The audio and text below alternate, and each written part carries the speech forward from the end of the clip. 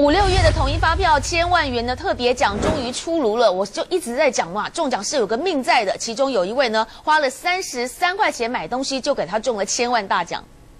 发票一千万特别奖终于出炉，开出千万大奖的就是这间超商，员工兴奋地爬上梯子，挂上大红布条。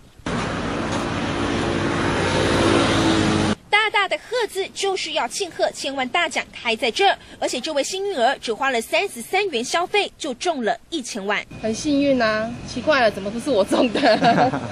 民众直呼实在太幸运了，只花了三十三元就中了一千万。超商开了六年，第一次开出头奖，店家也开心，财神眷顾，表示这得奖者应该是当地民众或是学生。